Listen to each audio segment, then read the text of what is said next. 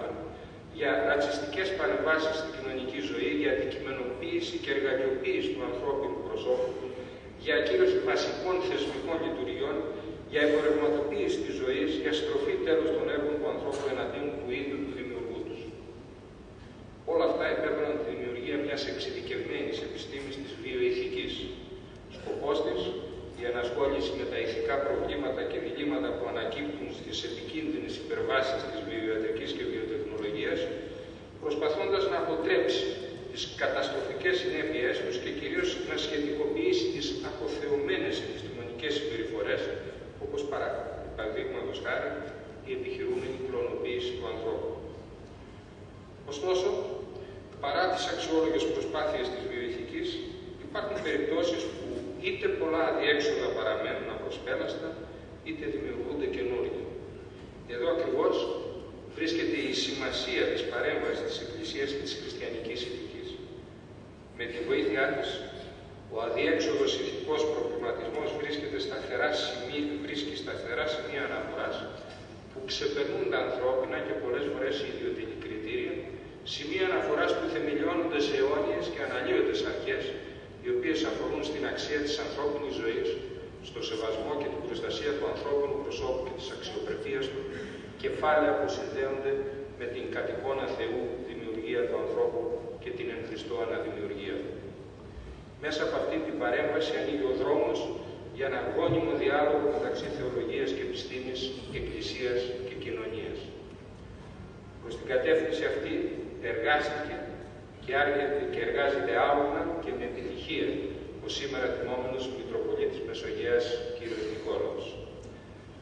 Αυτό δηλώνεται καθαρά όχι μόνο στα εξαίρετα από επιστημονικής πλευράς δημοσίευματά του, αλλά και στις εργασίες όλων σχεδόν των επιτροπών βιοειθικής, εκκλησιαστικών και εθνικών, στις οποίες συμμετέχει ενεργά και δημιουργικά, άλλοτε ως πρόεδρος και άλλοτε ως μέλος τους.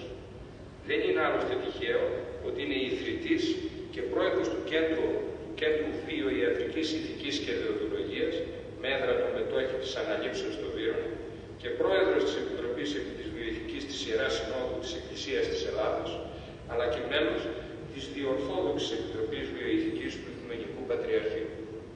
Γι' αυτό το λόγο, αλλά και για αυτούς που αναλυτικότερα θα αναπτύξει ο καθηγητής κ. Νικολαίδης, αξίως του Τμήμα Κοινωνικής Θεολογίας του Πανεπιστημίου μας, με τη σημερινή εκδήλωσή του, τον συγκαταλέει στους επίθυμους διδάκτορές του.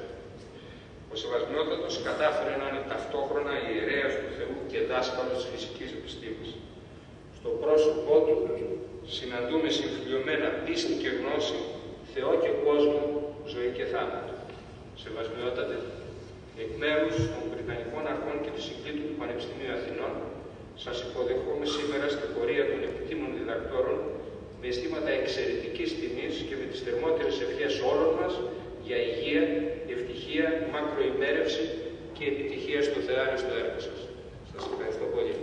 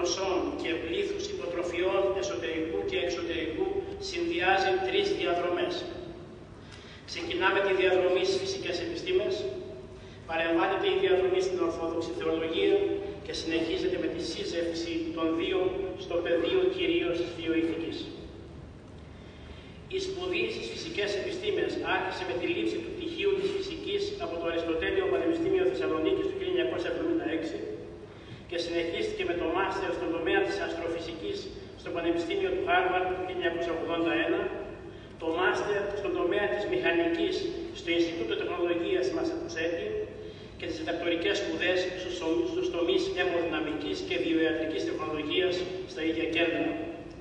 Οι σπουδές διαδέχεται έρευνα από το 1980 μέχρι το 1986 στην πυρηνική φυσική και την κοσμολογία στο Χάρβαρτ, τη βιορευστοδυναμική, την αιμοδυναμική μελέτη του κυκλοφορικού συστήματος τις τεχνητές καρδιές, τις τεχνητές βαλβίδες, την επινόηση νέων αγκαιοχειρουργικών τεχνικών, την αιμοδυναμική της καρδιάς, τους υπέρηχους στη δυναμική της καρδιάς, στη Μασακουσέτη, τη διαστημική ιατρική τεχνολογία στην Άσανα.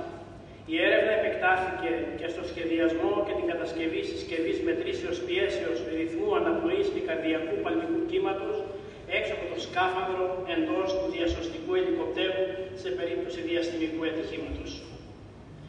Η θεολογική του κατάρτιση από την άλλη μεριά ξεκίνησε με το μάστερ στις θεολογικές σπουδές στη Θεολογική Σχολή του Τιμίου Σταυρού το 1986 και συνεχίστηκε με το μάστερ θεολογίας στην ίδια σχολή 1987 αλλά και το διδακτορικό δίπλωμα θεολογίας στη Θεολογική Σχολή του Αριστοτελείου σχετικό με τη βιοειθική και τις μεταμοσχεύσεις το 2003.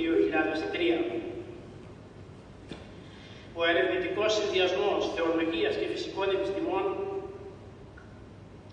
αρχίζει το 1989 στη θεολογική μας σχολή με την έρευνα της σχέσης χώρου, χρόνου και ύλης στο πλαίσιο της κοσμολογίας των καπαδοκών πατέρων σε αναφορά προς τις κοσμολογικές αντιλήψεις της σύγχρονης φυσικής και αστροφυσικής και συνεχίζεται από το 1992 μέχρι και σήμερα με την έρευνα θεμάτων βιοιατρικής ηθικής και δεοντολογίας στο ομώνυμο κέντρο στο Βύρονα που ο ίδιος ίδρυσε.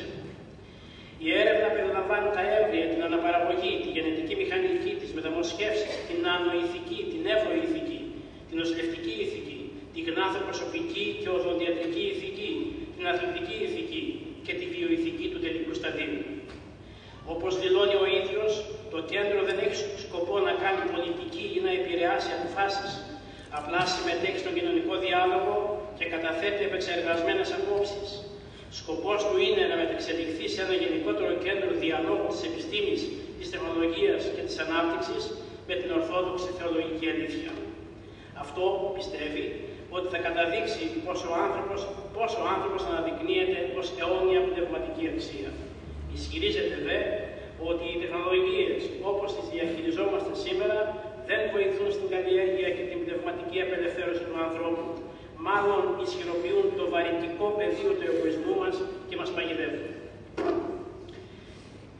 Η διεπιστημονική πλέον πορεία του Νικολάου διανθίζεται και εμπλουτίζεται πρώτον από τη διδακτική του δραστηριότητα σε κολέγια, ιατρικές σχολές, νοσοκομιακά σεμινάρια και μεταπτυχιακά σεμινάρια στο Κέντρο Βιοιατρικής Ηθικής και Δεδολογίας, με θέματα που αναφέρονται στη σχέση φυσικής, βιολογίας και θεολογίας, σε βιοειθικά ζητήματα, στην ιατρική ηθική και δεοντολογία. Δεύτερον, από τη συμμετοχή του σε 11 επιτροπές βιοειθικής της Εκκλησίας, Ελλαδικής και Οικουμενικού Πατριαρχείου και Πολιτείας, όπως η Επιτροπή Βιοειθικής Σεράς Συνόδου της Εκκλησίας της Ελλάδος, η Επιτροπή Βιοειθικής της Διακοινοβουλευτικής Συνέλευσης των Ορθοδόξων, η Διορθόδοξη Επιτροπή Βιοειθικής του Οικουμενικού Πατριαρχείου, το Εθνικό Συμβούλιο Μεταμοσχεύσεων, το Εθνικό Συμβούλιο Ιατρικής Ηθικής και Δεοντολογίας, το Εθνικό Συμβούλιο Έρευνας και Τεχνολογίας. Σημειώνουμε δε ότι είναι ο ιδρυτής και πρόεδρος του Κέντρου Βιοιατρικής και Δεοντολογίας με πλούσια ερευνητική δραστηριότητα. Τρίτον, διανθίζεται από τις διεθνείς εκκλησιαστικές εκπροσωπήσεις σε διεθνή συνέδρια στο Παγκόσμιο Συμβούλιο Εκκλησιών, στο Πατριαρχείο Μόσχας, στις Εκκλησίες Ρουμανίας και Αμερικής. Τέταρτον, από την ενεργό συμμετοχή τους σε 43 επιστημονικά και διεπιστημονικά συνέδρια σε εσωτερικό και εξωτερικό με βιοειθικά κατατοπιστό θέματα. Πέμπτον, από τη διοργάνωση 17 συνεδρίων και σεμιναρίων μέχρι τώρα σχετικών με τη βιοειθική. Και έκτον, η επιστημονική του παρουσία γίνεται εντονότερη με τη δημοσίευση 15 μονογραφιών και 20 επιστημονικών άρθρων με θεματική που αφορά στο μοναχισμό, την ανθρωπολογία, τη θεολογία και ιδιαίτερα τη βιοειθική. Από τις μονογραφίες, μέρος των οποίων έχουν μεταφραστεί και σε άλλες γλώσσες, αξίζει να κατονομάσουμε το ελεύθερη από το γονιδίωμα, αλλήλων μέλη, μέλη μεταμοσχεύσει στο φως της Ορθόδοξης Θεολογίας και Ζωής, που είναι και η διδακτορική του διατριβή, άνθρωπος μεθόριος, από το καθημερινό στο καθομοίωση, Άγιον Όρος, το υψηλότερο σημείο της γης. Αυτή είναι η διεπιστημονική πορεία του Σεβασμιωτάτου, όπως διαγράφεται μέσα από το πλούσιο και εντυπωσιακό βιογραφικό του. Θα ήθελα ωστόσο να σας δώσω και μια συνοπτική εικόνα για τη σκέψη, τη θεολογία, την εκκλησιαστική και μοναχική του αυτοσυλλησία, τον τρόπο κατανόησης και προσέγγισης του σύγχρονου ανθρώπου, όπως αυτή εξάγεται μέσα από τα λόγια και τα γραφόμενα του ίδιου του Σεβασμιωτάτου. Τον ρωτάει κάποιος δημοσιογράφος αν αισθάνεται ελεύθερος μέσα σε δεσμά της Εκκλησίας και απαντά, τι θα πει δεσμά; Δεν υπάρχει άλλος χώρος που να είναι πιο ελεύθερος. Δεσμά έχει η επιστήμη. Στη φυσική υπάρχουν. Θεσμοί κινήσεως λέγονται. Οι ορισμοί και οι εξισώσεις είναι νομοτέλειες. Η Εκκλησία δεν έχει δεσμά. Δεν έχει περιορισμούς. Σας μίλησα μέχρι τώρα ποτέ για δεσμά. Όταν η Εκκλησία τον κάλεσε να τον κάνει επίσκοπο, ξεκαθάρισε από την αρχή ότι προτιμά να είναι πρωτίστως μοναχός και μετά επίσκοπος. Ενώ γίνομαι επίσκοπος, συνειδητά επιλέγω ως πρότυπο ζωής αυτό του μοναχού. Με αυτόν τον τρόπο ξεκίνησα, με τον ίδιο και θέλω να εξοφλήσω το επίγειο χρέος μου, με αυτήν την κληρονομιά επιθυμώ να ταξιδέψω την αιώνια πορεία μου. Για τον λόγο αυτόν εκφράζω δημόσια την επιθυμία μου να μην μεταχειριστείτε ως ανώτατο δημόσιο υπάλληλο μηνιαίο μισθό και δώρο εορτών και θερινών διακοπών με παραστάσεις σε δίπλα, δεξιώσεις, παρελάσεις και εγγένεια. Λέξεις όπως μισθό, σύνταξη, ιδιοκτησία, ασφάλεια ζωής, διακοπές, προσωπικές φιλίες κλπ. Που δεν έχουν καμία σχέση με τη μοναχική ζωή, θα ήθελα να παραμείνουν ξένες προς το δεξιλόγιο της προσωπικής μου πολιτείας. Στην καρδιά μου αντυχεί η πεποίθηση ότι ο ιερέας πρέπει να είναι ο φτωχότερος από τους πιστούς και ο επίσκοπος ο φτωχότερος από τους ιερείς. Το πρώτο δεν θα το επιβάλλω σε κανέναν. Το δεύτερο όμως αποτελεί για μένα αδιαπραγμάτευτο όρο και απαράβατο στόχο ζωής. Δεν θα ήθελα να πληρώνουμε, αλλά μόνο να ξοδεύουμε, ούτε να ασφαλίζουμε στις επίγειες τράπεζες, αλλά στην Αγία Τράπεζα, ούτε να ξεκουράζουμε μακριά από τα βάσανα και τους αγώνες του ποιμνίου μου στις όμορφες γωνίες αυτού του κόσμου, αλλά να αναπαύουμε μέσα στη δρόση της καμίνου των δοκιμασιών όλων μας. Η ζωή που επιθυμώ, συνεχίζει και καταλήγει, να μην θυμίζει σε μεγαλοπρέπεια την εισεπίσκοπο χειροτονία μου, αλλά σε λιτότητα και αναζήτηση μυστικού βάθους τη μοναχική κουρά μου. Όταν χρειάστηκε να συγκρίνει τη μοναχική ζωή με τη ζωή του επιστήμονα, έγραψε ο ασκητής, πατήρι Ηρωδίων, ένας ασκητής προφανώς στο Άγιον Όρος, μου φάνηκε πολύ πιο έξυπνος και πιο πετυχημένος από τους νομπελίστες καθηγητές μου στο Harvard και το MIT. Η λογική τους έμοιαζε με αγωνιστικά αυτοκίνητα. Η λογική της διαχριστός ανώπιτος με πύραυλο. Το πρώτο τρέχει με 300 χιλιόμετρα, 320 για την ακρίβεια χιλιόμετρα την ώρα, το δεύτερο με περίπου 30.000 χιλιόμετρα την ώρα. Και αλλού δήλωσε η NASA βρίσκεται στη Γη και εγώ ψηλαφώ τον ουρανό.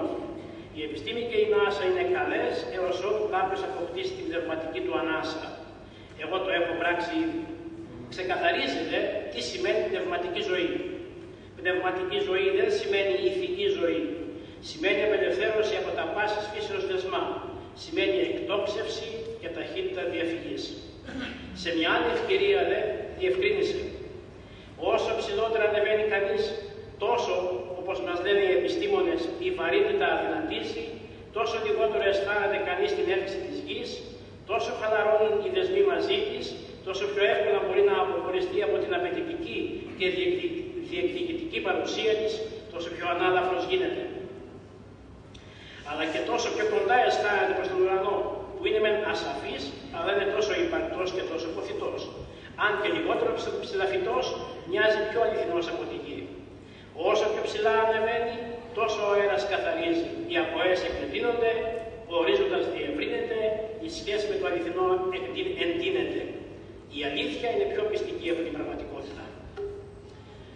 Ξεκαθάρισε δε σε ποια εκκλησία πιστεύει και ποια καλείται να διακονήσει. Δεν πιστεύουμε σε εκκλησία γράφει που ζητάει, αλλά που την εμπιστευόμαστε ούτε σε εκκλησία που στηρίζει την αποστολή της σε τράπεζες και αναπτυξιακά προγράμματα, με συγχωρείτε, αλλά σε εκκλησία που η τότητά της την εγκαθιστά σαν μάνα στις καρδιές των πιστών. Μια τέτοια εκκλησία όχι μόνο συντηρεί τους πιστούς, αλλά διαρκώς επιβεβαιώνει την αλήθεια του κηρύγματός της. Εκκλησία που ταυτίζεται με το παγκάρι, τον δίσκο, την ενοχλητική αίτηση δωρεών, τα οικονομικά προγράμματα είναι τόσο ριζωμένη στον κόσμο αυτόν που αδυνατεί να μας μεταφέρει στον άλλο τον αληθινό. Τα εγκόσμια προβλήματά μας υπάρχουν και άλλοι να τα λύσουν. Ποιος όμως θα απαντήσει στον πόνο μας, στα καθημερινά δράματα και διέξοδά μας, στα αναπάντητα γιατί και ερωτήματά μας, ποιος θα μας αναστήσει στη λογική που ελευθερώνει, ποιος θα μας προσφέρει το Θεό που λυτρώνει, δεν μπορεί η Εκκλησία να κηρύττει Θεό που είναι πανταχού παρόν και από τη ζωή της απόν. Όσο για το ρόλο της Εκκλησίας στο σύγχρονο κόσμο έγραψε η Εκκλησία κάθε στιγμή σηκώνει το βάρος μιας διαχρονικής παράδοσης και το δυσβάστατο φορτίο προβλημάτων, αγωνιών, προσωπικής εμπιστοσύνης, δοκιμασιών και πόνου. Σε καθημερινή βάση αναδέχεται ατέλειωτα οικογενειακά προβλήματα. Στην αγκαλιά της καταλήγουν αδιέξοδα, διλήμματα, ψυχολογικές κρίσεις, απίστευτες περιπλοκές της ζωής, ώστε να αποτελεί τον μεγαλύτερο πνευματικό και κοινωνικό ψυχολογικό σύμβουλο στον τόπο μας. Ποια λογική δικαιολογεί τη φημωσή τη, ποια ηθική μπορεί να προχωρήσει δίχως την έκφραση της εμπειρίας της; Από την άλλη μεριά, αισθάνεται την ανάγκη να εκφράσει το παράπονο για τις εκκλησιαστικές αγγυλώσεις, έστω κατάλαβα εγώ τουλάχιστον, που δυσκολεύουν το έργο της βιοειθικής, γράφει συγκεκριμένα. Αντί στις σύγχρονες βιοειθικές προκλήσεις που ακουμπούν τη ζωή μας και παρεμβαίνουν στην καθημερινότητά μας, να διακρίνουμε μία αγάπη που ελευθερώνει ή ένα ουσιαστικό φρόνημα που μεταφέρει σε σφαίρες άλλης λογικής, εμείς δουλικά επιμένουμε σε νομικές σχολαστικότητες που πνίγουν τη χάρη ή σε εκοσμικευμένους συμβασμούς, συμβασμούς που εντελώς την απομακρύνουν. Αντί να λειτουργούμε ως αφανή κύτταρα του πνευματικού σώματος του Χριστού, εμείς βλέπουμε την Εκκλησία ως σωματείο με μέλη, καταστατικό, δικαιώματα και υποχρεώσεις, το οποίο έχει ανάγκη περισσότερο της δικής μας βοήθειας παρά τον άλλο. Ο ίδιος θέτει τα όρια του εξυγχρονισμού, πάντα σε σχέση με την παράδοση. Γράφει. Εξυγχρονισμός που δεν θεμελιώνεται πάνω στην ευλογημένη μας παράδοση είναι ύπουλος και επικίνδυνος, όπως και παράδοση που δεν έχει σχέση με το σήμερα αποτελεί νεκρό γράμμα. Άποψη και ιδεολόγημα που εγκλωβίσει και όχι πίστη που ελευθερώνει. Η δυναμική του καινούριου και του σύγχρονου σε συνδυασμό με το δοκιμασμένο της παραδόσεως είναι οι πόρτες μέσα από τις οποίες περνάει στις ημέρες μας ο δρόμος και η έκφραση της εκκλησιαστικής αλήθειας και ζωής.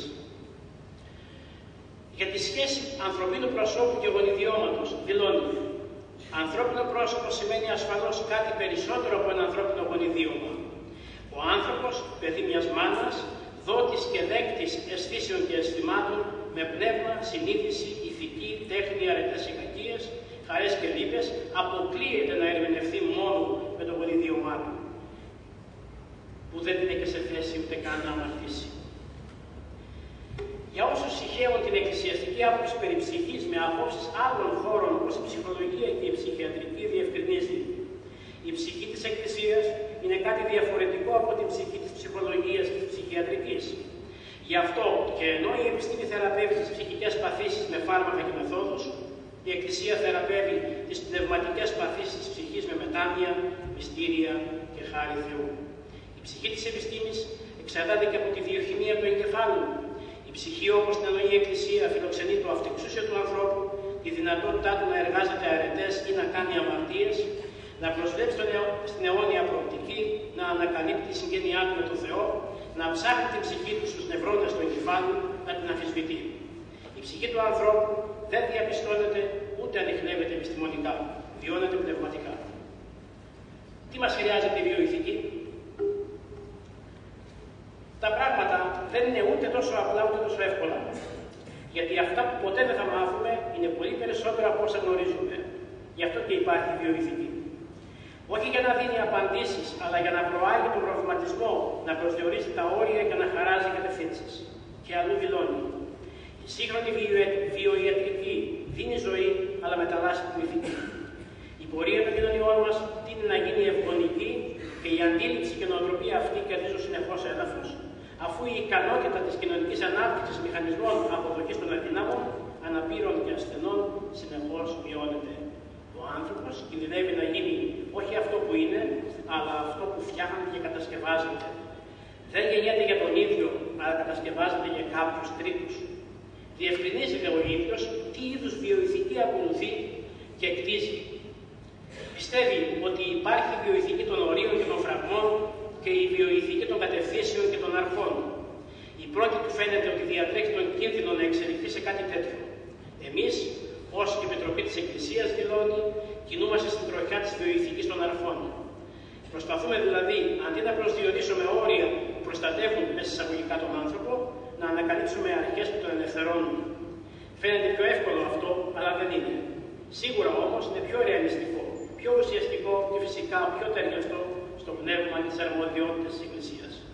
Με άλλα λόγια, αν με ρωτούσατε τι είναι πιο υγιές, να αποφύγεις ένα λάθος από φόβο και ανασφάλεια ή να το κάνει μέσα από μια διαδικασία βιώσεως ελευθερία σου, νομίζω ότι χωρίς κανένα δισταγμό θα επέλεγα το δεύτερο.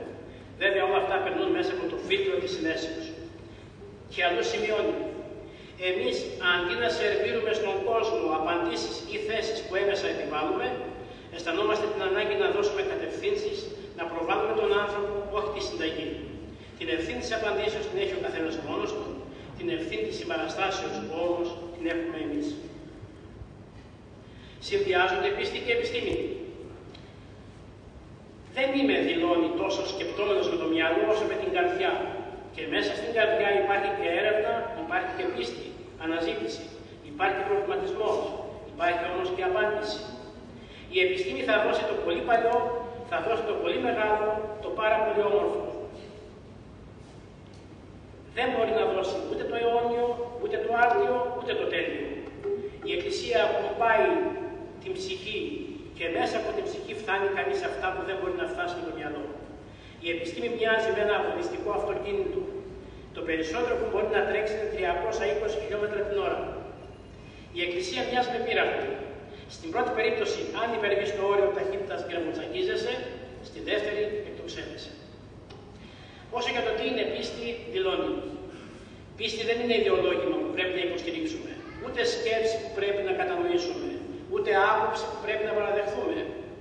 Η πίστη δεν είναι συνέστημα, ούτε ηθικός κανόνας με τον οποίο πρέπει να συμμορφωθούμε, ούτε βίωμα που ψυχολογικά επιβάλλαμε στον εαυτό μας, ούτε πάλι στόχος που κατακτάται με ανθρώπινες προσπάθειες. Η πίστη είναι χάρη στη ζωή και αλήθεια, προσφέρεται, αναδύεται και αποκαλύπτεται. Είναι κάτι που δίνει ο Θεός, κάτι που φανερώνει το Θεό. Τον ρώτησαν αν αγαπά την επιστήμη και απαντά ότι της έχει μεγάλη αδυναμία. Η επιστήμη γράφει, έχει μια γοητεία, είναι μια ευλογία, αλλά το μεγαλείο της δεν κρύβεται τόσο σε αυτό που γνωρίζουμε, όσο στην κρυμμένη έγκλη αυτού που αγνοούμε. Ένας καλός ερευνητής που ψηλαφεί το όριο της γνώσης δεν μαγεύεται τόσο από αυτό που κατανόησε, όσο από αυτό που υποψιάζεται πω αγνοεί. Έτσι κατακτάται το νέο και άγνωστο. Επιστήμη σημαίνει τόλμη στην ανακάλυψη, ταχύτητας στο καινούριο και της ζητητικότητα στο άγνωστο. Ποιος μπορεί να τη φρενάρει και γιατί να κάνει αυτό το λάθος; Εκείνο που πρέπει να κάνουμε δεν είναι να στερήσουμε την επιστήμη από την ελευθερία της, αλλά με τα συνέσεω να χειριστούμε τις τεχνολογικές εφαρμογές της. Πράγμα που δεν στηρίζεται ούτε στη γνώση, ούτε στην κατανόηση, αλλά στη συνείδηση του ανθρώπου, στην αίσθηση του καλού και κακού, του ψεύτικου και αληθινού, του ασήμαντου και ουσιαστικού, στοιχείων που πάλι μας οδηγούν προς έννοιες και ιδιώματα που σχετίζονται με τον Θεό. Το ίδιο εντυπωσιακά απαντά και στο ερώτημα αν απειλείται η Εκκλησία από την επιστήμη. Σημειώνει, η Εκκλησία δεν απειλείται, γιατί η αλήθεια δεν απειλείται. Αν η επιστήμη απειλεί την αλήθεια, τότε απειλείται και η Εκκλησία. Αν η επιστήμη συμμαχεί με την αλήθεια, τότε συμμαχεί και με την Εκκλησία. Ακούμε συχνά γίνεται λόγος για το τέλος του Θεού. Τέλος θα μπορούσε να έχει η επιστήμη που ασχολείται με τα πεπερασμένα και πιστεύει πως το τέλος του ανθρώπου είναι τέλος. Όχι ο Θεός. Στην Εκκλησία, τέλος σημαίνει αρχή και τελείωση. Ποιον όμως απειλεί η επιστήμη, απειλεί μια θρησκεία που εγκλωβίζεται στις απόψεις της, που προστατεύει συγκεκριμένα ιδεολογήματα, που εκφράζει κοινωνικές και ηθικές αντιλήψεις, που προσδιορίζει το Θεό μέσα από διαμαρτυρίες, απαγορεύσεις, ενστάσεις ή ταυτίζει τη μία αλήθεια με τις ελεύθερες αντιλήψεις κάποιων δίθεν σοφών. Η χάρη του Θεού, η επιβεβαιωμένη εμπειρικά αλήθεια, είναι μία αποδομήσιμη. Δεν κινδυνεύει από κάτι. Ο Θεός είναι υπαρκτός, αληθινός και μεθεκτός. Όταν κοινωνείς, συνομιλείς μαζί του. Η επιστήμη δεν αγγίζει αυτή την εμπειρία. Τα επιστημονικά επιτεύγματα που ενίοτε αναιρούνται μας φωτίζουν για άγνωστα ω τώρα στοιχεία και μας βοηθούν να προσαρμόσουμε τη γνώση μας. Για την αρχή της ανθρώπινης ζωής δηλώνει η Εκκλησία αγαπά τη ζωή και εκτιμά τη διάρκεια της. Γι' αυτό και το μήκος της δεν θέλει, δεν μπορεί και δεν πρέπει να το περικόψει. Θέλει η ζωή του ανθρώπου να είναι όσο πιο μεγάλη γίνεται. δεν σημαίνει μόνο κανείς να ζήσει πιο πολύ. Σημαίνει και να έχει γεννηθεί πιο νωρίς. Η ζωή είναι αιώνια, με αρχή αλλά δίχως πέρας. Αρχή της όμως είναι η πιο αρχή που υπάρχει. Η πρώτη στιγμή που αναγνωρίζεται ο νέος και ανεπανάληπτος άνθρωπος, αυτή είναι η αρχή. Η σπουδαστική προσπάθεια επακριβούς προσδιορισμού χρονικών σημείων υπερβαίνει το φρόνημα της Ορθόδοξης Παράδοσης. Παρά τα αυτά, βασιζόμενη στην αποκάλυψη του Θεού, η Εκκλησία τοποθετεί την ανθρώπινη αρχή στο σημείο της μονιμοποίησης, διότι δεν υπάρχει άλλο σημείο πριν από αυτήν. Πέρα από όλα αυτά, το μεγάλο θέμα δεν είναι η απάντηση στο σπουδαστικό ερώτημα πότε αρχίζει η ζωή; Αυτό μας υπερβαίνει. Το ερώτημα είναι πώς θα σεβαστούμε το κάθε έμβριο ως πρόσωπο και ως ανθρώπινο είδος. Ακούμε και ένα άρρωστο έμβριο. Τα έμβρια δεν τα καταστρέφουμε για να τα σώσουμε, αλλά τα σεβόμαστε για να σωθούμε. Αν η έρευνα κυριαρχείται από σεβασμό, ας κάνει ό,τι θέλει. Η Ορθόδοξη παράδοση δεν παρέχει συνταγέ, καλλιεργεί συνειδήσει, περιποιείται την εικόνα χωρίς να φυλακίζεται στι πινελέ. Για την κοινωνία που βιάζεται να κάψει τους νεκρούς της, σημειώνει. Η κοινωνία με την καύση των νεκρών προσυπογράφει το δικό της τέλος, το μηδενισμό της. Μια κοινωνία που δεν αντέχει τον άνθρωπο, ούτε την ασθένειά του, ούτε στην, ούτε στην ασθένειά του, ούτε στην αδυναμία του, ούτε στο θάνατό του. Μια κοινωνία που καίει τους νεκρούς της, μια κοινωνία που καταστρέφει και την ανάμνηση της ζωής και την ενθύμηση των μελών της. Αυτό είναι λείψανα. Μια κοινωνία που κάνει την αρχή του ανθρώπου τεχνητή και μηχανική και το τέλος του οριστικό και αμετάκλητο. Μια κοινωνία που αρνείται την πνοή του αιώνιου και εγκλωβίζεται στην ασφυξία του εφήμερου, τι σχέση μπορεί να έχει αυτή η κοινωνία με τη ζωή. Και επειδή κατά καιρούς, στο τέλος βρίσκομαι, και επειδή κατά καιρούς γίνεται λόγος για εχθρούς της Εκκλησίας και της Ορθοδοξίας, σημειώνει πως αυτή δεν κινδυνεύει απολύτως από τίποτε. Η σκέψη όμως μιας Εκκλησίας που από σώμα Χριστού και κυβωτός σωτηρίας και αληθείας γίνεται επίγειος οργανισμός με εφήμερη νοοτροπία και αντίληψη, προκαλεί βάναυση την πίστη, αυτός είναι ο κίνδυνος, να χάσουμε εμείς την Ορθοδοξία. Νομίζω ότι κινδυνεύουμε από την εκοσμίκευση. Δηλαδή, όταν η Εκκλησία αποκτά υπερβολική εφημερότητα, επιγειότητα, τότε χάνει την αληθινή έκφραση και ομορφιά της. Γυμνώνεται από το μεγαλείο της. Ο ιερέας δεν είναι υπηρέτης του λαού. Αν είναι υπηρέτης. Τότε, αν είναι υπηρέτης, τότε είναι μόνο του Θεού. Όταν η Εκκλησία εξαντλεί το μήνυμά της στο σήμερα, στο εδώ και τώρα, τότε φράζει τους ορίζοντες της ψυχής στο αιώνιο, στο θεϊκό, στο υπερβατικό. Το μοντέλο της Εκκλησίας δεν είναι ο καλός, ηθικός, σωστός, τίμιος και ενάρετος άνθρωπος, αλλά ο Άγιος. Και ο Άγιος είναι θεόμορφος. Τον βλέπεις και χωρίς να ανοίξει το στόμα και λες, ναι, υπάρχει Θεός.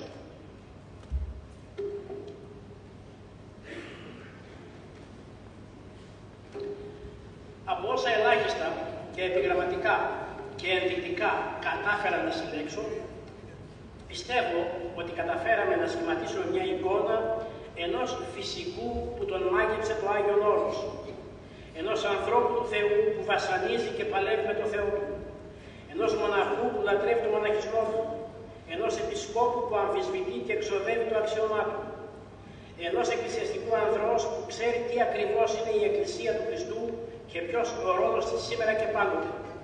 Κυρίως όμως πιστεύω ότι σχηματίσαμε την εικόνα ενός ερωτευμένου επιστήμονα που δεν αγαπά απλώς και τιμά την επιστήμη του, αλλά που παιδεύεται να της δώσει πραγματικό και αληθινό περιεχόμενο, επιστήμη που δεν το απαγορεύει, αλλά τον διευκολύνει να αγαπά τον Θεό και τους ανθρώπους.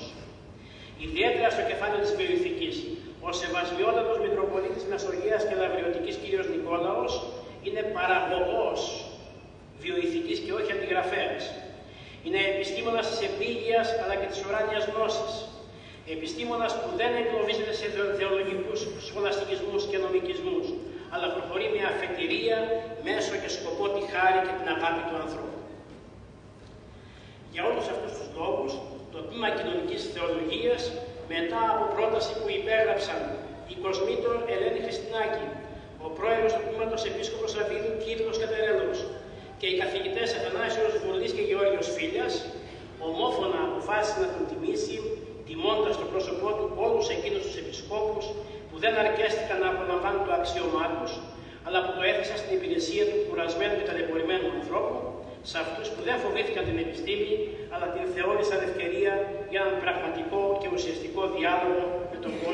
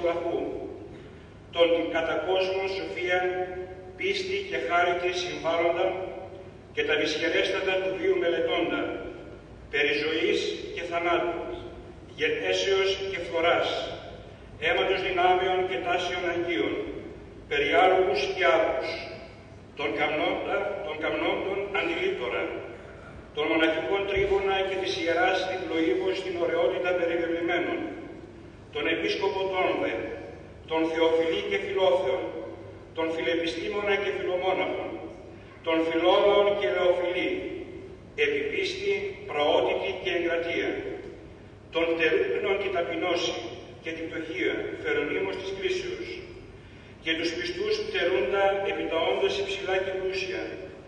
Επενέσετε αυτόν και επίτιμον διδάκτορα του τμήματος αναδείξε. Το δε ψηφισματόδε εν μευράνη αναγράψε και τον του τμήματος πρόεδρον εν διεθούσε τη μεγάλη αναγνώντα και τα στιμάς ανυπώντα επιδούμε αυτό η ανημέρα η αναγόρευση γέννηται καθά νενόμιστε. Εγένετο Αθήνηση μηνός Μαΐου 8 και 20, έτη 8 και 20, ο πρόεδρος του Τμήματος Κοινωνικής Θεολογίας, Κύριλος Ρέλος. Επειδή το Τμήμα Κοινωνικής Θεολογίας της Θεολογικής Σχολής του Αθήνης Συνεθνικού και Καποδιστριακού Πανεπιστημίου, τον Νικόλαο Χατζηνικολάου, άξιον απέφυνε του επιτήμου διδακτορικού αξιώματος, ο δε πρίτανης και του Τμήματος Γνώμη Επινέβης, διατάφτα εγώ, Κύριλος Κατερέλος, καθηγητής Ιστορικής Δογματικής Θεολογίας, νύβεν του Τμήματος Κοινωνικής Θεολογίας Πρόεδρος, χρώμενος στη δυνάμει, είναι των παρά των πανεπιστημιακών νόμων και του Τμήματος Έχου Λαβών, τον Νικόλαο Χατζηνικολάου, επίτιμον διδάκτορα του Τμήματος Κοινωνικής Θεολογίας της Θεολογικής Σχολής του Αθήνης Εθνικού και Καποδιστριακού Πανεπιστημίου, δημοσία αναγορεύω, και πάσα της προνομίας, τα στο πανεπιστημιακό του το αξιώματι παρεχομένας από νέμου. Εγένε το Αθήνηση μηνός Νοεμβρίου, τρίτη έτη 8 και δυσχυλιοστό. Ο πρόεδρος του Τμήματος Κοινωνικής Θεολογίας, Κύριος Κατερέλος. Ελληνική Δημοκρατία. Πριτανεύοντος εν το Αθήνηση Εθνικό και Καποδιστριακό Πανεπιστημίο. Χρήστου Νικολάου Κίτα. Καθηγητού της Ιστολογίας και Εμβριολογίας. Κοσμητευούσης εν, εν τη Θεολογική Σχολή. Ελένης Νικολάου Παπακώστα Χριστινάκη. Καθηγητρίας της Αρχαίας Εβραϊκής Γλώσσης. Ερμηνείας της Παλαιάς Διαθήκης εκ του Πρωτοτύπου και της Εβραϊκής Αρχαιολογίας. έτη δε προεδρεύοντος του Τμήματος Κοινωνικής Θεολογίας, Κυρίλου Κατερέλου, καθηγητού της Ιστορικής Δογματικής Θεολογίας, Νικόλαου Χατζηνικολάου, αποδόγματος ομοθήμου του Τμήματος Κοινωνικής Θεολογίας της Θεολογικής Σχολής, εις τους επιτήμους διδάκτορας ενέκρινε, μηνός Νοεμβρίου 3η, έτη 8 και βυσχυλιοστό. Ο πρίτανης Χρήστος Νικολάου Κίτας, η Κοσμήτωρ Ελένη Νικολάου Παπακώστα Χασινάκη, ο πρόεδρος του Νόματος Κοινωνικής Θεολογίας Κύριλος Κατερέλος, ο προϊστάμενος γραμματείας Παναγιώτης Δόσου.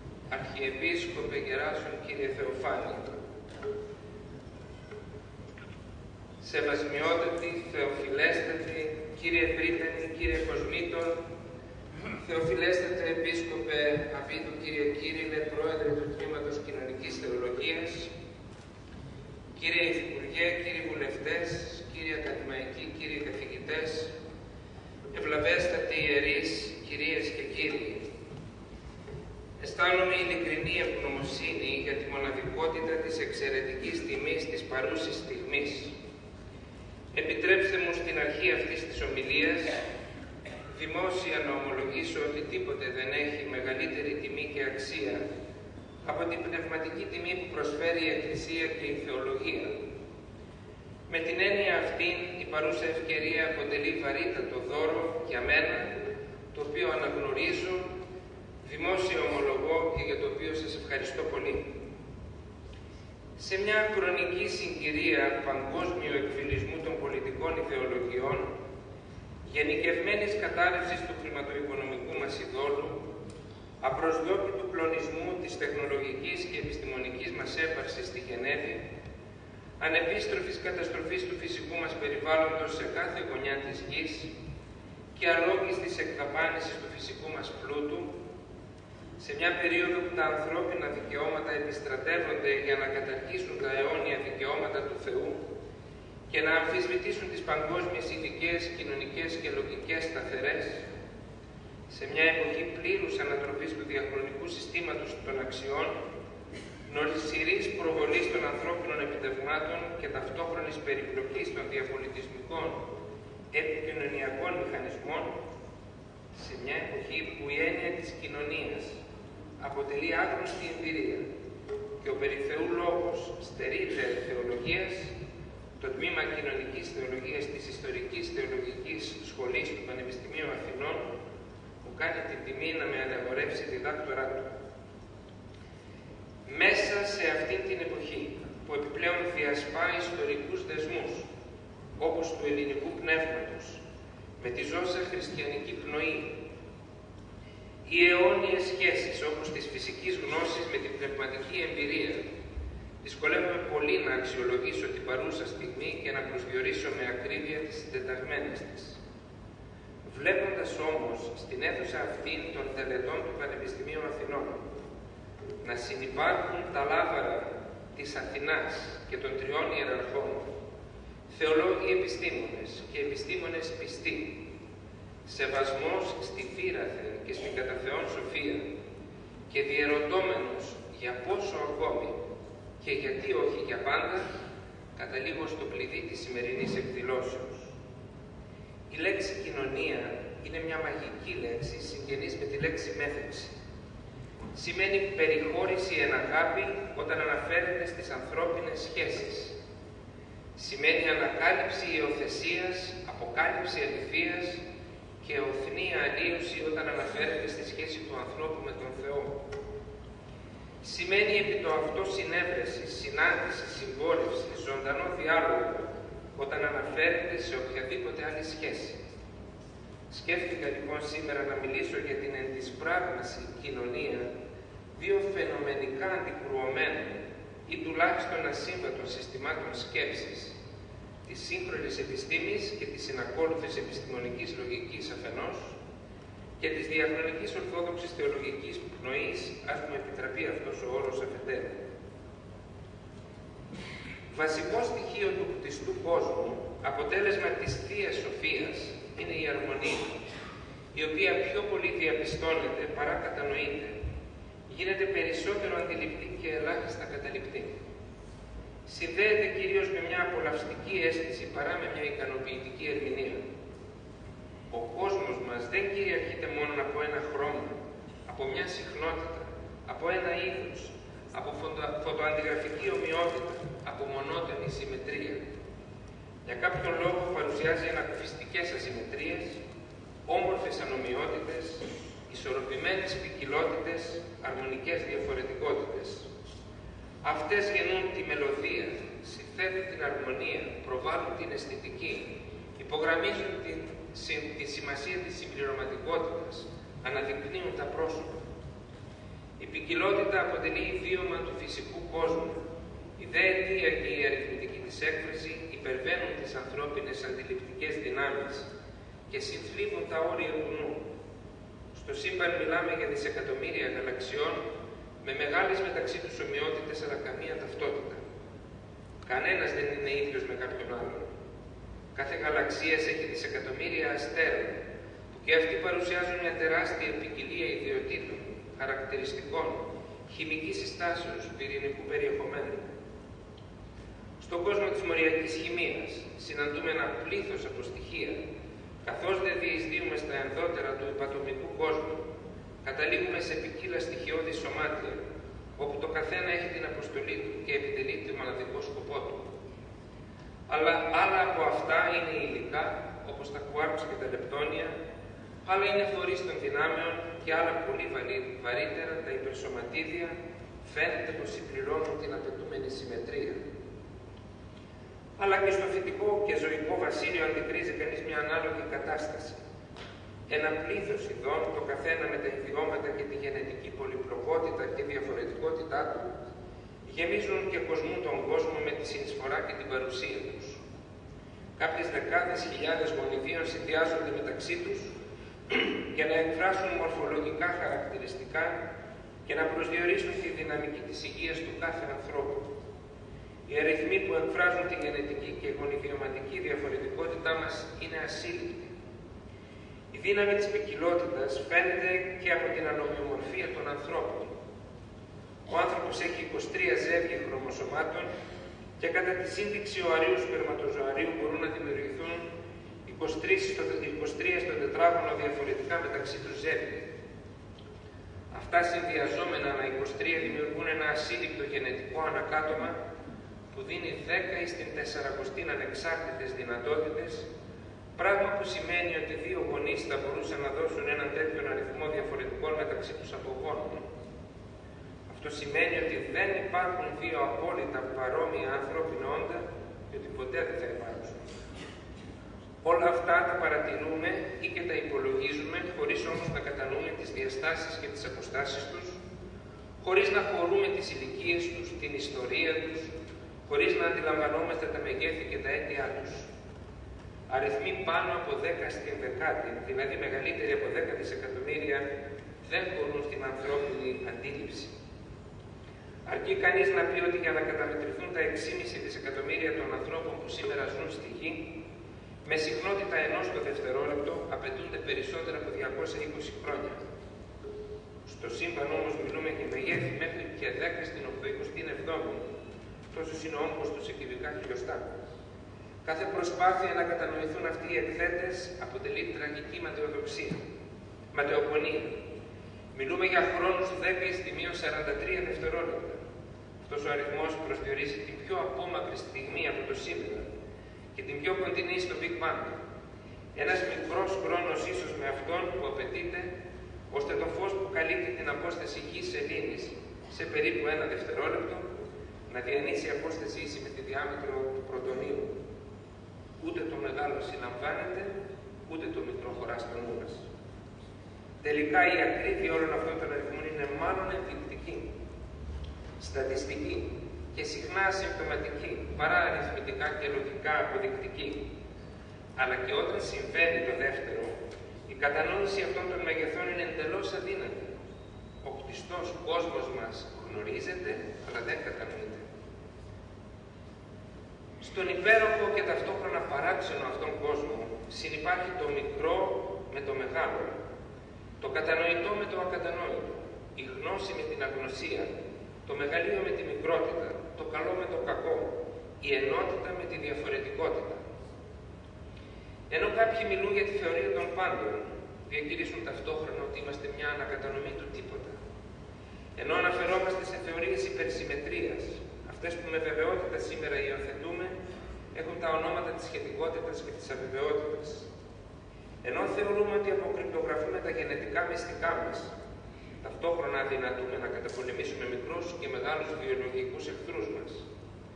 Ίσως βρίσκουμε τα μυστικά των θεωριών μας, ίσως περιγράφουμε την απότερη αρχή και το έσκατο τέλος μας, ή τις λεπτομέρειες του μικροκόσμου και του μακροκόσμου μας, δεν τα καταφέρνουμε όμως καλά με το παρόν και την πραγματικότητά μας. Ενώ με το εργαλείο του πολύ μικρού και χρονικά απειροστού ανοιχνεύουμε τα μυστικά του κοσμικά αρχικού και του συμβαντικά πολύ μεγάλου, καταφέρνουμε τα μικρά προβλήματα να τα κάνουμε ανυπέρβλητα μεγάλα. Η φύση δείχνει πως όσο την πλησιάζουμε, αρέσκεται να αποκρύπτει τα μυστικά της. Πλησιάζουμε στην αρχή του κόσμου. Μόλις 10 στη 43 δευτερόλεπτα από το Big Bang, όπως προανέφερα, και πριν την κατακτήσουμε, καταραίουν οι εξισώσεις μας. Η μεγάλη έκρηξη είναι η εικόνα της άγνοιάς μας, ομολογεί πρόσφατα ο μεγάλος Έλληνας φυσικός Γιάννης Ηλιόπουλος. Κυνηγούμε τις εσχατιές του σύμπαντος, τα πιο απόμακρα σημεία του και διαπιστώνουμε ότι όσο τις πλησιάζουμε, αυτές απομακρύνονται με μεγαλύτερη ταχύτητα, σύμφωνα με τον νόμο του Χάμπλου. Όσο αυξάνουμε τη γνώση μας για τον κόσμο, τόσο αυτός αποκαλύπτει τη διονκούμενη αγνωσία μας. Η θεωρία της αβεβαιότητας αυτό αποδεικνύει. Προσδιορίζουμε με ακρίβεια μια ιδιότητα της φύσης και υποχρεωνόμαστε σε σφάλμα για τη συζυγή της. Το ίδιο και στο σύμπαν. Προχωρούμε στην έρευνά του και βρίσκουμε μαύρες τρύπες, σκοτεινή ύλη και ενέργεια, μυστικές συμμετρίες, σωμάτια που αγνοούμε τα βασικά του στοιχεία, παράξενες οντότητες που τους αποδίδουμε με τα φυσικά ονόματα, το παράξενο κουάρκ ή το σωματίδιο του Θεού, οι οποίες όμως κρύβουν τα πιο ωραία μυστικά. Ο κόσμος γίνεται φοβερά ελκυστικός, αλλά αποδεικνύεται τραγικά απομονωτικός. Οι μεγάλες φυσικές σταθερές έχουν τιμές που δικαιολογούν την υποχρεωτική μας ύπαρξη ως ανθρώπων, σύμφωνα με τη λεγόμενη ανθρωπική αρχή, αλλά και την επίσης υποχρεωτική μας απομόνωση. Το σύμπαν είναι τεράστιο και οι ταχύτητες ανυπέρβλητα μικρές. Η ταχύτητα του φωτός, η μεγαλύτερη ταχύτητα, η ταχύτητα της επικοινωνίας μας είναι αξεπέραστη και πεπερασμένη. Μπορούμε να ακούμε, να λαμβάνουμε ερεθίσματα, μπορούμε να μιλάμε, να στέλνουμε μηνύματα, αλλά δεν μπορούμε να διαλεχθούμε. Αδυνατούμε να επικοινωνήσουμε διαστρικά και διαγαλαξιακά. Αλλά και αυτό που βλέπουμε με όλων των ειδών τα τηλεσκόπια μας είναι μόλις το 4% του σύμπαντος. Το υπόλοιπο 23 είναι σκοτεινή ήδη και το 73 σκοτεινή ενέργεια. και εκεί κρύβεται το μυστικό του κόσμου μας. Είναι τόσο λίγα αυτά που γνωρίζουμε και τόσο περισσότερα αυτά που αγνοούμε. Κάτω από ειδικές συνθήκες, η φυσική και η γεωμετρία εκφράζονται με τρόπους που αντιβαίνουν στις αισθήσεις μας. Η πραγματικότητα μοιάζει περισσότερο με φαντασία. Στις μεγάλες διαστάσεις στο σύμπαν, ο χώρος καμπυλώνει, η ευπλήτεια γεωμετρία καταργείται.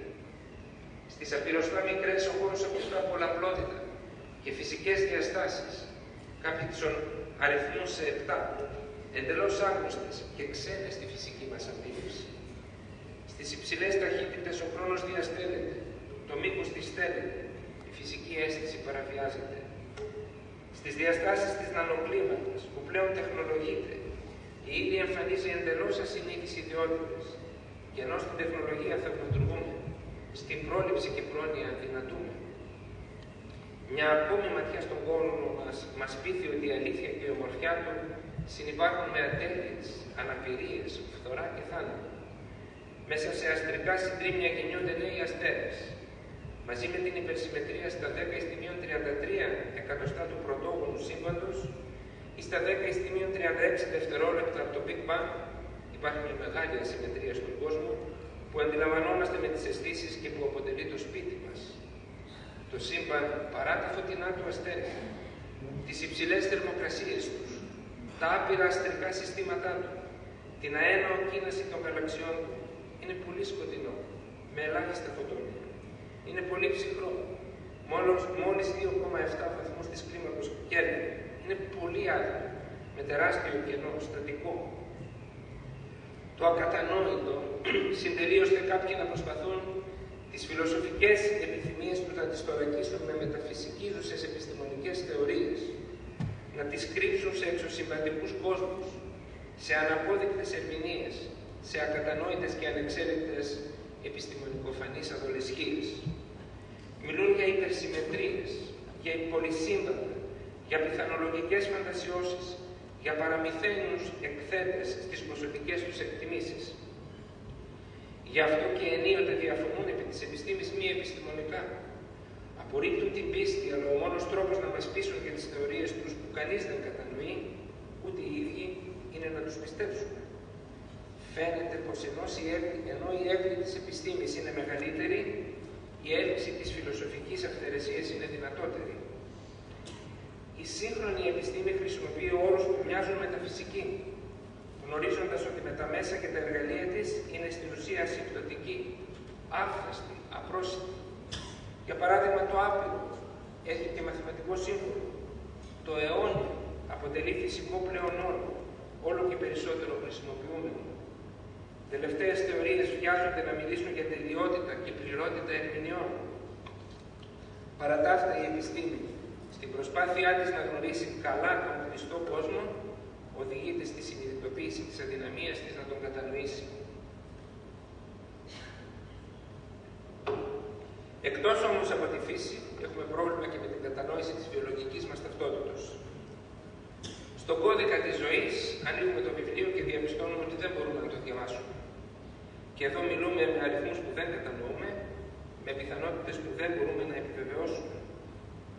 Προσεγγίζουμε το γονιδίωμα με την ελπίδα ότι αποκαλύπτουμε τη γενετική αλήθεια μας και αυτό μας προωθεί στο πρωτέωμα με τη διαβεβαίωση της μεγαλύτερης άγνοιάς μας. Πριν προλάβουμε να μάθουμε το ένα αλφάβητο, οδηγούμαστε στην ανάγκη εκμάθησης μιας δυσκολότερης γλώσσας. Μέσα από την εξαφάνιση των ορθών της ζωής εμφανίζονται άλλες πιο εξελιγμένες. Μέσα στη γενετική περιουσία του ανθρώπινου κυτάρου, ακόμη και το αποκαλούμενο άχρηστο DNA, Φαίνεται πως διακριτικά αποκρύπτει πλούτο μυστικών που παίζουν ένα καθόλου ευκαταφρόνητο ρόλο στην όλη κληρονομική διαδικασία και στον προσδιορισμό των βιολογικών χαρακτηριστικών του ατόμου. Οι σύγχρονες επιστήμες της νευροφυσιολογίας και της νευροβιολογίας μας οδηγούν στο συμπέρασμα ότι τελικά το όργανο της νόησης μας είναι ο μεγάλος άγνωστος. Δεν κατανοούμε ούτε τους μηχανισμούς του εγκεφάλου, ούτε τη δυναμική της κατανόησης. Αισθανόμαστε πως το πραγματικό σύμπαν είναι αυτό της αγνωσίας μας, όπου όμως μπορούμε να απολαμβάνουμε διάσπαρτους αστέρες και γαλαξίες, γαλαξίες, απόψεις και θεωρίες εντυπωσιακής αλλά μεγάλης γνώσεως ως διεσόπτων ενενίχων. Στο ίδιο συμπέρασμα καταλήγει και η φιλοσοφική οδός. Ούτε αυτή μπορεί να μας βοηθήσει να κατανοήσουμε πόση μεγάλη ηλικία του σύμπαντος συνεπάρχει με τη σύντομη ζωή του ανθρώπου. Το ανθρώπινο μεγαλείο με τη μικρότητα. Η σοφία του κόσμου και η ομορφιά με την καταστροφικότητα.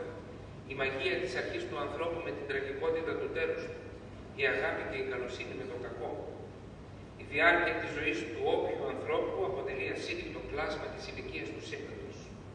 Το γεγονός ότι ζούμε μέσα σε έναν κόσμο σκεπτόμενοι αλλά αγνοώντας, δυνατή κατά τη σκέψη αλλά απειλούμενη από τα ζώα και τη φύση, γεμάτη ζωή αλλά συνεπώς καταδιαγόμενη από τον θάνατο, με έμφυτη μυστική αναζήτηση αλλά πλήρη ανεπάρκεια ανακάλυψης του υπερλόγου, αν δεν αποτελεί τραγωδία είναι μυστήριο. Τελικά δεν αποτελεί μυστήριο μόνο η φύση αλλά και ο κτιστός άνθρωπος. Ο άνθρωπος φαίνεται πως είναι κάτι πολύ περισσότερο από ένα βιολογικό όμως κυταρικό σύστημα.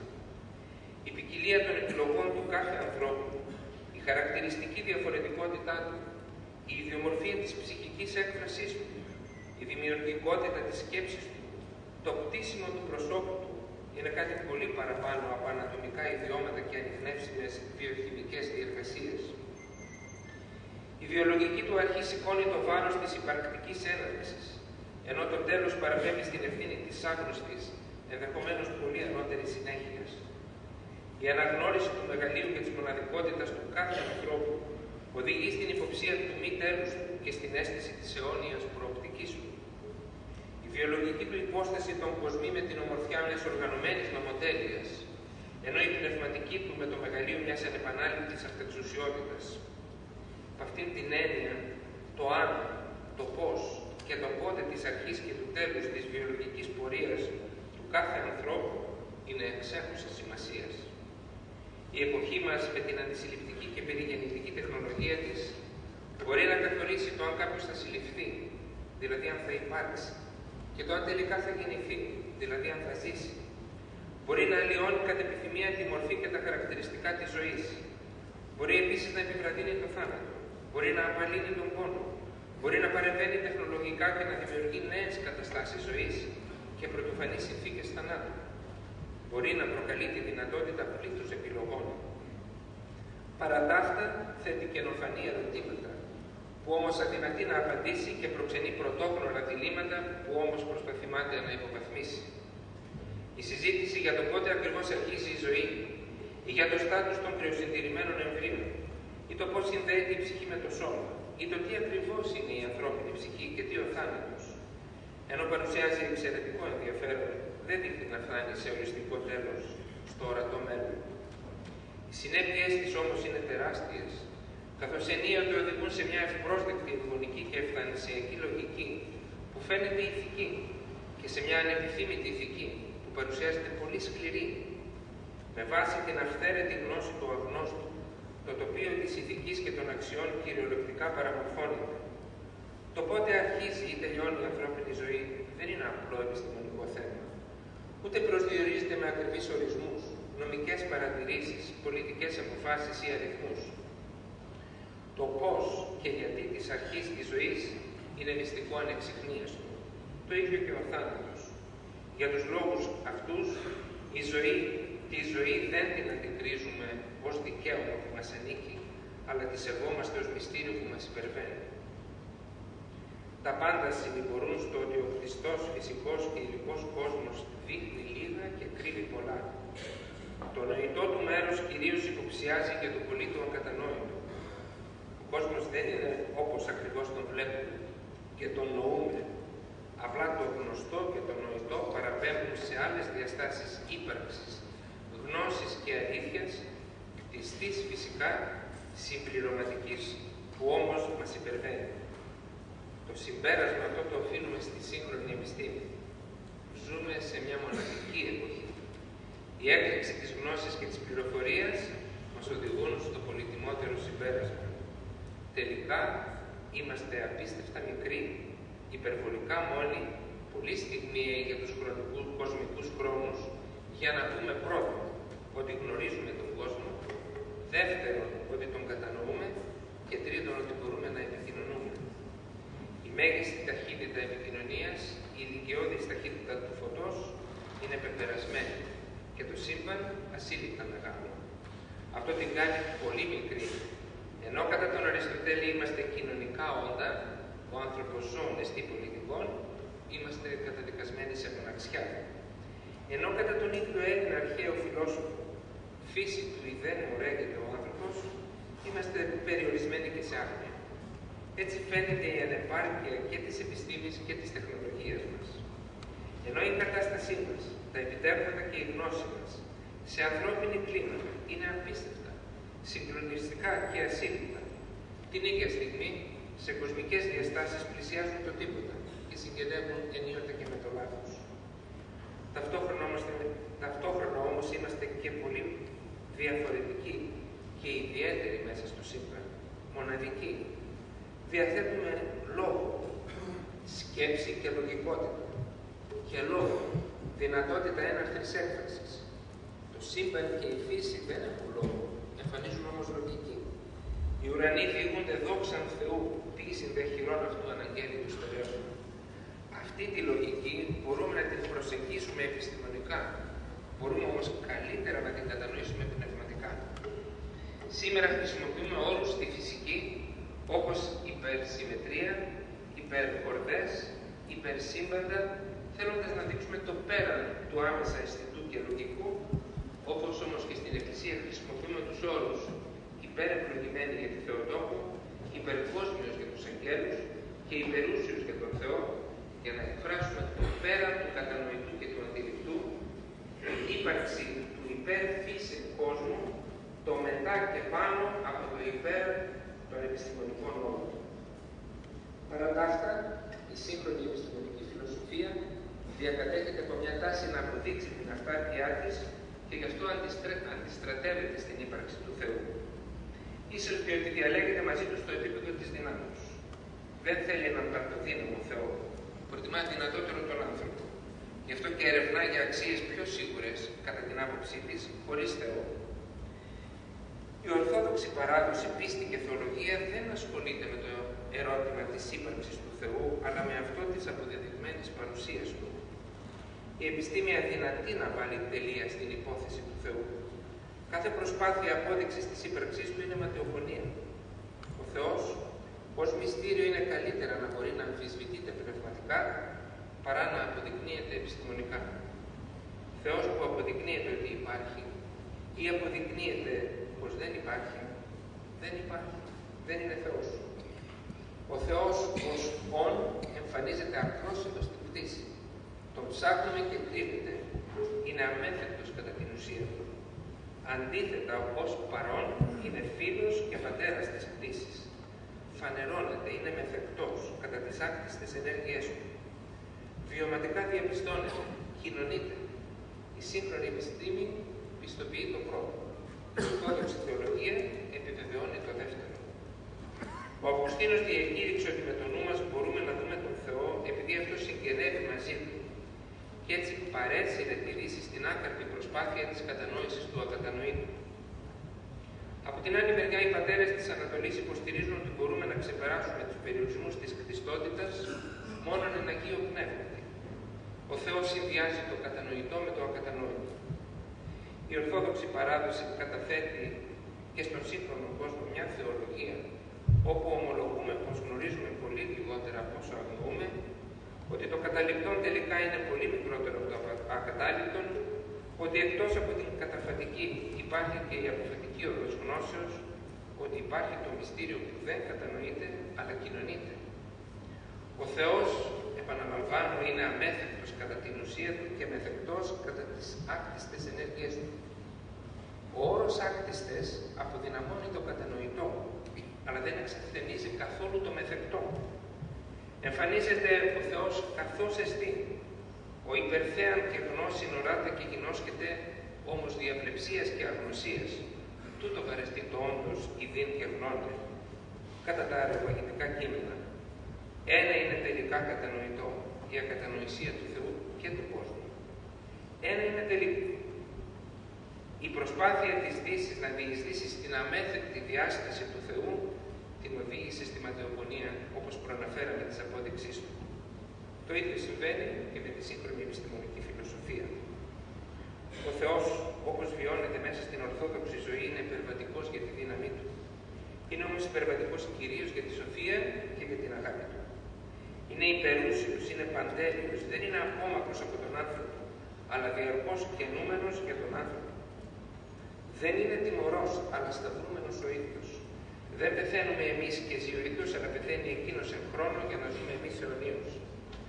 Ούτε μας αγαπά δείχνοντάς μας υπεροπτικά τη δύναμή του, αλλά δίνοντάς μας τη δυνατότητα υπερβατικά να μετέχουμε τον ακτή των ενεργειών της αγάπης του. Απέναντι σε αυτόν δεν στεκόμαστε με τη διάθεση να μην μας συντρίψει, αλλά με ήδη συντετριμένη την καρδιά επειδή η αγάπη του είναι τέτοια και τόση ώστε να μπορούμε να τον κοινωνούμε. Αυτός ο Θεός δεν είναι αντίπαλος που πρέπει η επιστήμη να εξαφανίσει, ούτε αντικείμενο που πρέπει να αποδείξει. Αυτός είναι ο Θεός της αγάπης που πρέπει οπωσδήποτε να ανακαλύψει.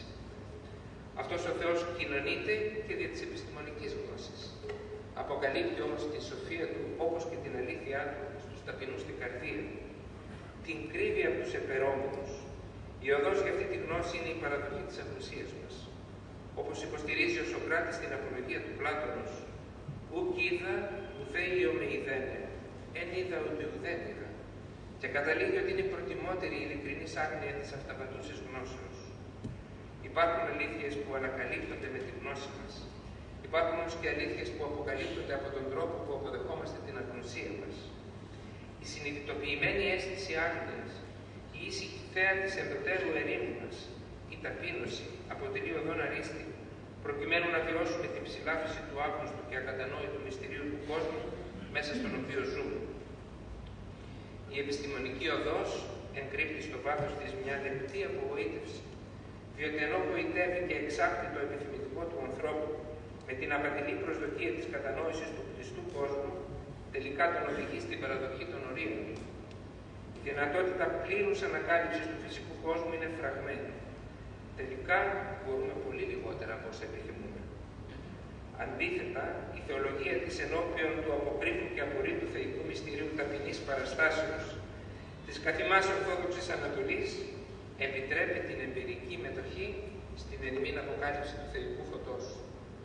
Ο άνθρωπος της Ορθόδοξης πίστης δεν ζητάει από τον διαρκώς κινούμενο Θεό να του φανερώνεται.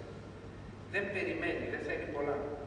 Τελικά όμως του προσφέρεται γνώση πολύ μεγαλύτερη και περισσότερη από όσοι φαντάζεται. Του προσφέρεται η καινή γνώση, η ετέρα εμπειρία, το ξένον θέαμα, του προσφέρεται ο Θεός ως πρόσωπο. Η επιστήμη μπορεί να ανεβάσει τον άνθρωπο στο ψηλότερο σκαλοπάτι της γνώσης, στην ταπεινή συνειδητοποίηση των φυσικών και διανοητικών ορίων. Η θεολογία μπορεί ακριβώς στο σημείο αυτό να τον υποδεχθεί και να τον παραλάβει, προκειμένου να τον εισαγάγει στο ιερό βήμα της θεϊκής αποκάλυψης. Η σύγχρονη επιστήμη μας οδηγεί νομοτελειακά στην αλήθεια της αποφατικής ορθόδοξης θεολογίας. Ο Θεός δεν έχει σχέση με την απόδειξη, ούτε με την ανακάλυψη. Ο Θεός είναι αποκάλυψη. Και κάτι ακόμα. Η επιστήμη είναι για λίγους. Ο Θεός είναι για όλους. Ακόμη και για τους επιστήμονες. Ακόμη και για τους θεολόγους. Σας ευχαριστώ.